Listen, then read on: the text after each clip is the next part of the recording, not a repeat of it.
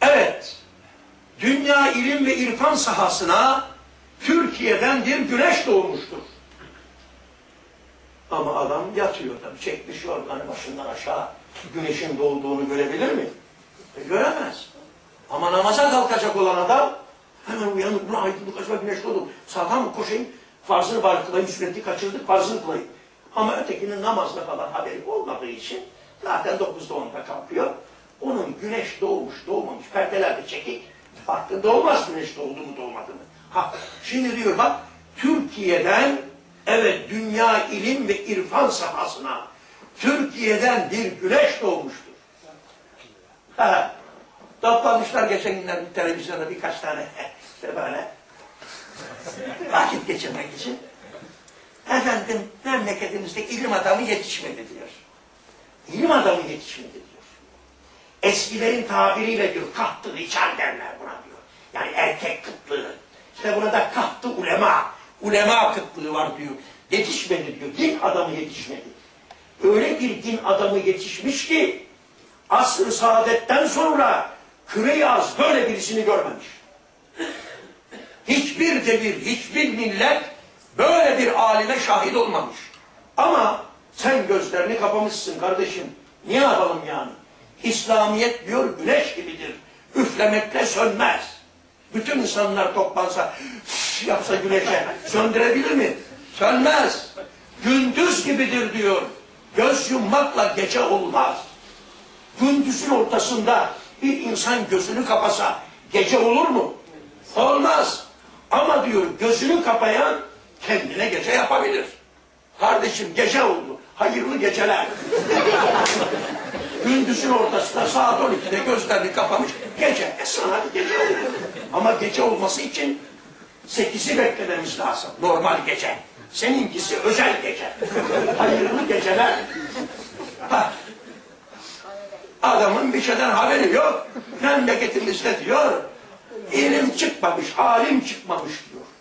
Araplar diyorlar, nasıl bize bu zatı tanıtmadınız? Mesulsunuz diyor.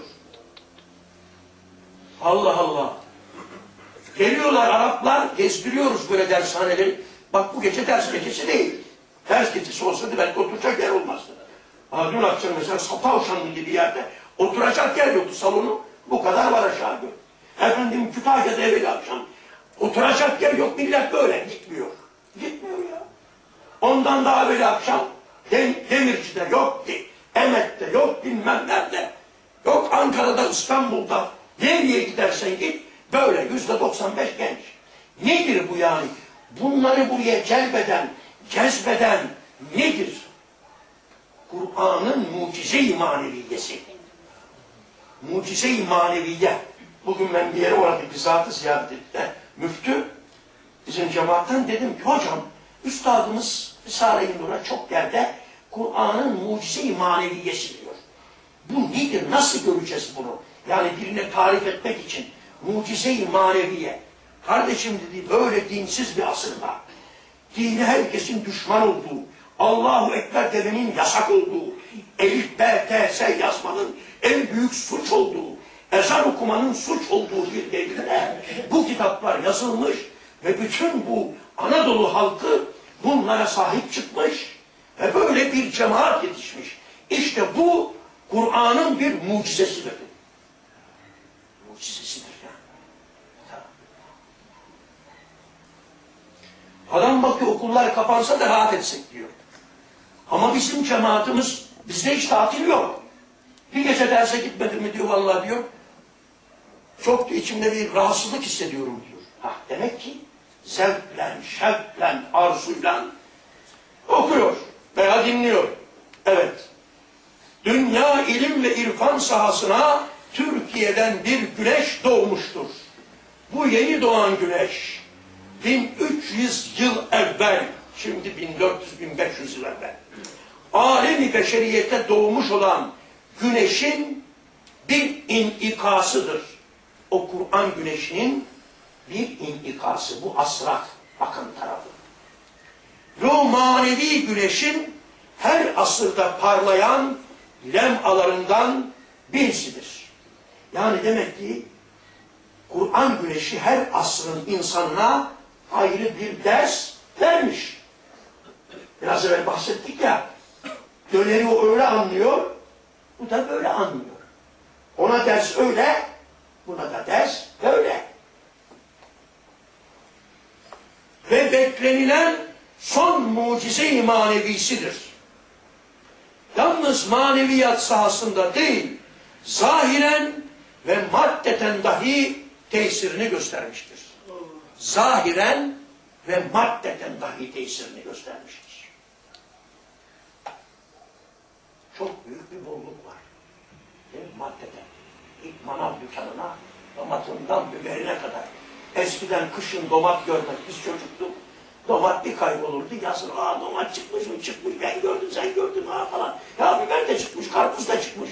Şimdi hepsi var. Maddeden de tesirini gösteriyor. Bir de bir de maddi şeyi bunun şu var kardeşler. Mesela üstadım demiş ki Bayram abi rahmetullah o anlatıyordu.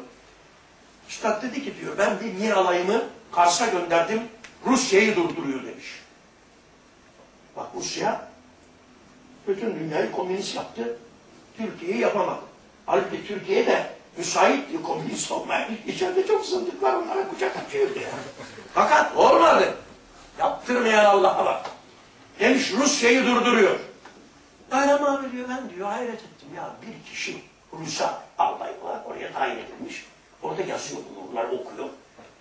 Bir kişi nasıl koskoca Rusya'yı durdurur diye düşündüm diyor. Tabii o diyor kalbini diyor okudum.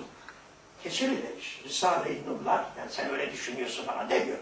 Risale-i Nurlar hayattandır demiş. Her bir kelimesi bir bomba gibi demiş. Füze gibi gider, onları vurur, onların yapmak istedikleri şerri durdurur. Tevkif eder onları. Tabii.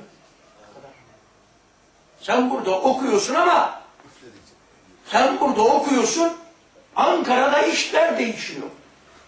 Adamlar yaramaz bir şey yapmak isteseler bile buradaki yapılan dualar onlara fırsat vermiyor. İnsanım. Ya. Onun için biz vazifemizi yapacağız. Vazifemizi yapacağız. Eskiden böyle baskın yapıyorlardı, bizlere götürüyorlardı mahkemelere falan. İyi oluyordu yani. Ya da ilanat oluyordu böyle. İzmir'de bir zamanlar 71'de oldu olaylar. Sık Yönetim Mahkemesi'nde 54 kişilik bir mahkeme var. 54 kişi. E bu 54 kişi hakim teker teker soracak tabii. Kalk Ahmet Günaydın. Sen bu kitabı okudun mu? Okudum. Ne için okudum? Efendim ben bu kitabı Allah'ımı, dinimi, peygamberimi, ahiretimi Şimdi orada yaz diyor. Yazıyor şimdi o şey. Katip, başçavuş o. Vakit katibi yazıyor. Dinimi, imanımı, Allah'ımı, Ahmet Yılmaz, sen bu kitabı okudun mu? Okudum efendim. Ne için okudum? Efendim o kitap dinimi, imanımı, ahiretimi, Allah'ımı, peygamberimi bana tanıtıyor. Yaz dinimi, imanımı. Adam yaza yaza başçavuş sonra kendisi anlatıyor. Ben diyor o kadar içki içerdim ki beni ısıran tahta kurusu bile sarhoş olurdu. Fakat dinimi imanımı, dinimi imanımı yasa yasa imana geldim. Allah sizden razı olsun. Eskiden tekmeyle kapıyı açıyordum. Şimdi salavatla açıyorum. Karnın bizim karnın size yaptığı dua yeter. Öyle. İki bavul kitabım vardı. Benim gittim kitaplarımı alma beraber ettik. Dedi vallahi dedi bir tane kitap kalmadı. Nasıl olur? Liste var elimde dedi bana bir on gün müsaade. Yüzbaşı, binbaşı, albay, yarbay aldılar okuyorlar dedi. Kitaplar okunuyor. Aman dedim kalsın istemiyorum kitapları. Okusunlar. Gördün mü? Demek ki mahkemeler ne oluyordu? İlanat oluyor. Sen milyarlar versen gazetelere yazmaz. Senin davan. Ama yakalandılar. Basıldılar. Ellerinde kitaplar, mektubat, lemalar, asay Musa. Millet bakıyor asay Musa diyor. İyi bir şey asay Musa. Musa peygamber böyle demek ki bu komşular iyi insanlar ki kitaplarında da güzel şeyler. Arıyor adam asay Musa'yı arıyor. Demek ki her şey güzel. Mahsene külle şeyin halakahu diyor Cenab-ı Allah. Ben her şeyi güzel yaratırım diyor. Ama vardır, bir şey vardır ki ona hüsnü bir sat denilir. Bir de vardır ki hüsnü bir gayb. Yani neticesi itibariyle güzel. Mesela sıhhat güzeldir. Hastalık o da neticesi itibariyle güzeldir. Neticesi itibariyle. Adam aczini anlıyor, zaafını anlıyor. Hiçbir şey olmadığını anlıyor. Apartmanlar bakıyor, vallahi bak gidiyorum kalıyor bunlar. Daha önceden çek arsa, araba döviz, çek arsa, araba döviz. Hiç Allah demiyor. Bir sancı geliyor. Ha, ha, Allah, Allah, ha. Adam Allah demeye başladı. Tabii. Yavaş yavaş. Yahu diyor ölüyorum galiba tövbe estağfurullah falan. Hele bir düzeleyim namaza başlayacağım diyor. Bakın o hastalık onun hakkında ne oluyor? Hayırlı oluyor. Hayırlı oluyor. Niçin? Ona da neticesi itibariyle güzel deniyor kardeşler. Evet. Risale-i Nur yani şu kitaplar bütün dünya milletlerinin hayatlarını muhafaza ve müdafaa için sarıldıkları ve güvendikleri atom ve emsali bomba ve silahlarının fevkinde muazzam bir tesire sahiptir. Onlar hayatlarını bombayla, atomla korumaya çalışıyorlar. Risale-i onlardan daha tesirlidir. Çünkü onları öldürüyor. Bu ise ölüyü diriltiyor Allah'ın.